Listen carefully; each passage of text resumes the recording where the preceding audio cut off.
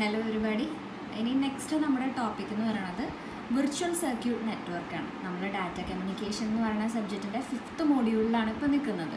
Fifth module നമ്മൾ കഴിഞ്ഞ ദിവസം സ്റ്റാർട്ട് ചെയ്തു. അതിൽ നമ്മൾ സ്വിച്ചിങ് ആണ് ടോപ്പിക്ക് പഠിച്ചുകൊണ്ടിരിക്കുന്നത് സ്വിച്ചിങ്ങിൽ നമ്മൾ ഏറ്റവും ആദ്യം നമ്മൾ എന്ത് പഠിച്ചു? സർക്യൂട്ട് സ്വിച്ച്ഡ് നെറ്റ്വർക്ക്സ് പഠിച്ചു. അത് കഴിഞ്ഞ് പാക്കറ്റ് സ്വിച്ച്ഡ് നെറ്റ്വർക്ക്സ് നമ്മൾ ഇന്നലെ പറഞ്ഞു. അതിൽ തന്നെ പാക്കറ്റ് സ്വിച്ച്ഡ് തന്നെ രണ്ടെണ്ണം ഉണ്ട്. അത് ഇതൊക്കെയായിരുന്നു പാക്കറ്റ് സ്വിച്ച്ഡ് ഞാൻ കാണിച്ചു തരാം. ഇതൊക്കെ നമ്മൾ കഴിഞ്ഞ ദിവസം പഠിച്ചതാണ്. എന്നാലും ഒരു ഓർമ്മ ഒരു റിവിഷന് വേണ്ടി നമുക്കൊന്നും കൂടെ പറയാം.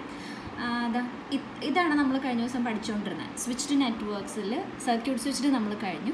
പാക്കറ്റ് സ്വിച്ച്ഡ് കഴിഞ്ഞ് ആണ് നമ്മൾ പഠിച്ചുകൊണ്ടിരിക്കുന്നത് അതിൽ ഡാറ്റാഗ്രാം നെറ്റ്വർക്ക്സ് നമ്മൾ പഠിച്ചു. ഇനി നമുക്ക് പഠിക്കാനുള്ളത് വിർച്വൽ സർക്യൂട്ട് നെറ്റ്വർക്ക്സ് ആണ്. ഓക്കെ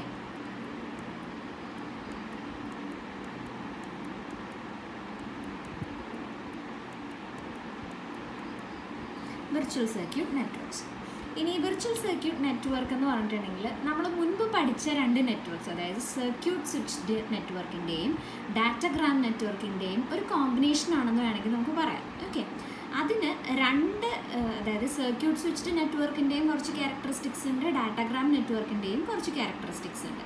ഇനി സർക്യൂട്ട് സ്വിച്ച്ഡ് നെറ്റ്വർക്കിന്റെ എന്തൊക്കെ ക്യാരക്ടറിസ്റ്റിക്സ് ആണുള്ളതെന്ന് നമുക്ക് നോക്കാം ആദ്യം. അപ്പോൾ ഇതിൽ അഞ്ച് കാര്യങ്ങളാണ് മെയിനായിട്ട് നമുക്ക് പറയാനുള്ളത്. ക്യാരക്ടറിസ്റ്റിക്സ് എന്ന് പറയുന്നത്. അതിൽ ഒന്നാമത്തെ എന്ന് പറയുന്നത് സർക്യൂട്ട് സ്വിച്ച്ഡ് നെറ്റ്വർക്കിന് ഉള്ളതുപോലെ തന്നെ സർക്യൂട്ട് സ്വിച്ച്ഡ് നെറ്റ്വർക്കിന് മൂന്ന് ഫേസസ് ഉണ്ടായിരുന്നു അല്ലേ? ഏതൊക്കെയായിരുന്നു setup phase tear down phase data transfer phase അതുപോലെ തന്നെ വിർച്വൽ സർക്യൂട്ടിനും എന്തുണ്ട്? സെറ്റപ്പ് ഫേസ് ഉണ്ട് ഡാറ്റ ട്രാൻസ്ഫർ ഫേസ് ഉണ്ട് ടിയർ ഡൗൺ ഫേസ് ഉണ്ട്. അതാണ് ഒന്നാമത്തെ ക്യാരക്ടറിസ്റ്റിക് മനസ്സിലായോ? ഇനി നെക്സ്റ്റ് ക്യാരക്ടറിസ്റ്റിക്സ് എന്ന് പറയുന്നത് അത് നമ്മുടെ ഇതിൽ നിന്ന് ഡാറ്റാഗ്രാം നെറ്റ്വർക്കിൽ നിന്ന് വരുന്നതാണ്. ഡാറ്റാഗ്രാം നെറ്റ്വർക്കിൽ എന്തായിരുന്നു? ഒരു അഡ്വാന്റേജ് എന്ന് പറയുന്നത് അതിൽ റിസോഴ്സസ് അലോക്കേറ്റ് ചെയ്യുന്നത് ആവശ്യത്തിനനുസരിച്ച് മാത്രമാണ് അല്ലേ ഓൺ ഡിമാൻഡ് റിസോഴ്സ് അലോക്കേഷൻ ആണെന്നാണ് നമ്മൾ പറഞ്ഞിരുന്നത്. അതാണ് നമ്മൾ എവിടെ യൂസ് ചെയ്യുന്നത്? ഇവിടെ വിർച്വൽ സർക്യൂട്ടിൽ യൂസ് ചെയ്യുന്നത് ഓൺ ഡിമാൻഡ് ഡാറ്റ ട്രാൻസ്ഫർ ആണ്. അപ്പോൾ അതാണ് രണ്ടാമത്തെ ക്യാരക്ടറിസ്റ്റിക് എന്ന് പറയുന്നത് ഇനി അതുപോലെ തന്നെ ഡാറ്റാഗ്രാം നെറ്റ്വർക്കിൽ എന്താ പറയുന്നതെന്ന് പറഞ്ഞിട്ടുണ്ടെങ്കിൽ എയിൽ നിന്ന് ബിയിലേക്ക് ഒരു ഡാറ്റ സെൻഡ് ചെയ്യണമെന്നുണ്ടെങ്കിൽ അതിന് ആദ്യം എന്താക്കും? പാക്കറ്റ്സ് ആക്കും അല്ലേ? ഈ പാക്കറ്റ്സിന് ഒരു ഹെഡർ ഉണ്ടാവും. ഈ ഹെഡറിൽ എന്ത് പറഞ്ഞിട്ടുണ്ടാവും? സോഴ്സും ഡെസ്റ്റിനേഷൻ അഡ്രസ്സ് പറഞ്ഞിട്ടുണ്ടാവും അല്ലേ? അതുപോലെ തന്നെ നമ്മുടെ വിർച്വൽ സർക്യൂട്ട് നെറ്റ്വർക്കിലും പാക്കറ്റ്സിൽ അല്ലെങ്കിൽ ഫ്രെയിംസിൽ അഡ്രസ്സ് പറഞ്ഞിട്ടുണ്ടാവും. അത് രണ്ട് രീതിയിൽ ഇവിടെ ചെയ്യും. അത് നമുക്ക് പിന്നീട് ഡിസ്കസ് ചെയ്യാം.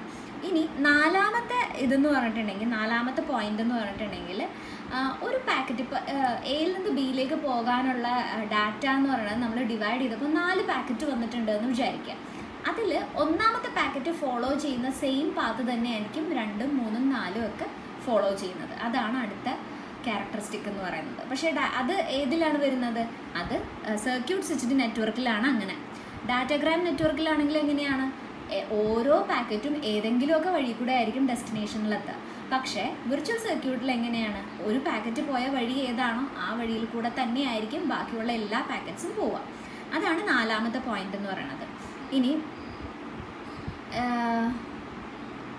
ഇത്രയാണ് നമുക്ക് ഇതിൽ പറയാനുള്ള ക്യാരക്ടറിസ്റ്റിക്സ് എന്ന് പറയുന്നത് ഇനി ഇതിൽ നമുക്ക് ഡിസ്കസ് ചെയ്യാനുള്ള കാര്യങ്ങൾ എന്തൊക്കെയാന്ന് പറഞ്ഞാൽ ഇതിൽ അഡ്രസ്സിങ് ഞാൻ നേരത്തെ പറഞ്ഞു. എങ്ങോട്ടാണ് എങ്ങോട്ടാ പോകേണ്ടതെന്നുള്ള ഡെസ്റ്റിനേഷൻസ് അഡ്രസ്സ് ഇതിൽ സ്പെസിഫൈ ചെയ്യുമെന്ന് പറഞ്ഞു. അതെന്താന്ന് നമ്മളിതിൽ പറയാനുണ്ട്. പിന്നെ ഇതിലുള്ള മൂന്ന് ഫേസസ് എന്തായിരിക്കും മൂന്ന് ഫേസസ് എന്ന് പറയുന്നത് സെറ്റപ്പ് ഫേസ് ഉണ്ട് ഡാറ്റ ട്രാൻസ്ഫർ ഫേസ് ഉണ്ട് ടിയർ ഡൗൺ ഫേസ് ഉണ്ട്. അതാണ് മൂന്ന് ഫേസസ് എന്ന് പറയുന്നത് പിന്നെ ഇതിന്റെ എഫിഷ്യൻസി ഇതിന്റെ ഡിലേ സർക്യൂട്ട് സ്വിച്ച് ടെക്നോളജി ഇൻവാൻസ് ഈ ഇത്രയും കാര്യങ്ങളാണ് നമുക്ക് സർക്യൂട്ട് സ്വിച്ച് വിർച്വൽ സർക്യൂട്ട് നെറ്റ്വർക്ക്സിൽ പഠിക്കാനുള്ളത്.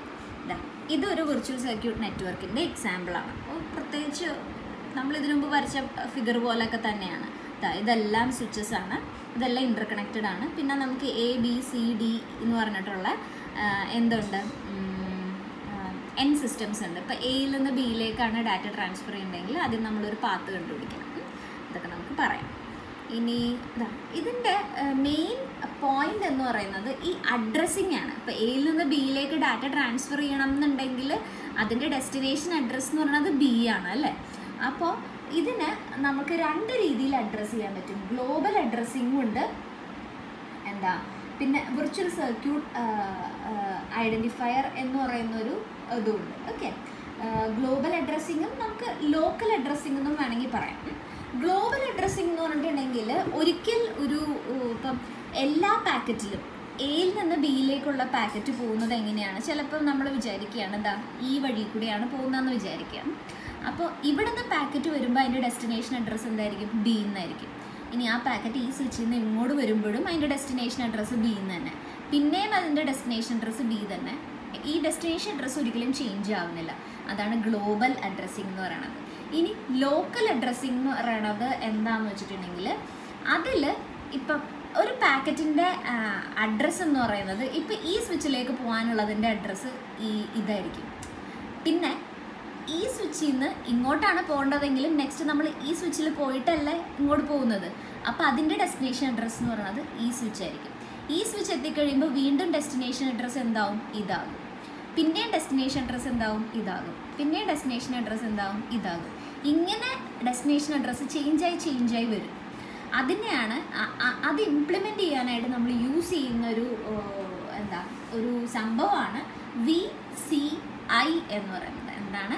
വി സി ഐ എന്ന് വെച്ചാൽ virtual circuit identifier okay virtual circuit identifier ഇതാ ഈ എക്സാമ്പിൾ ഒരു സ്വിച്ചിലേക്ക് വരുന്ന ഒരു ഡാറ്റ ആ ഡാറ്റയുടെ വി സി ഐ എന്താണ്? ഫോർട്ടീൻ ആണ്. ഫോർട്ടീൻ എന്ന് പറഞ്ഞ വി സി ഐ ഉള്ള ഡാറ്റ എന്ത് ചെയ്തു? ഇവിടെ വന്നു. ഇനി ആ ഡാറ്റ പുറത്തേക്ക് പോകുമ്പോൾ അതിന്റെ വി സി ഐ എന്തായി മാറി? സെവന്റി സെവൻ ആയി മാറി. അതായത് ഈ വി സി ഐ ചേഞ്ച് ചെയ്തുകൊണ്ടിരിക്കുമ്പോൾ ഒരു സ്വിച്ചിലേക്ക് ഇൻകമ്മിങ് ആകുമ്പോഴും ഒരു വി സി ഐ ആയിരിക്കും. ഔട്ട് ഗോയിങ് പോകുമ്പോൾ വേറെ വി സി ഐ ആയിരിക്കും.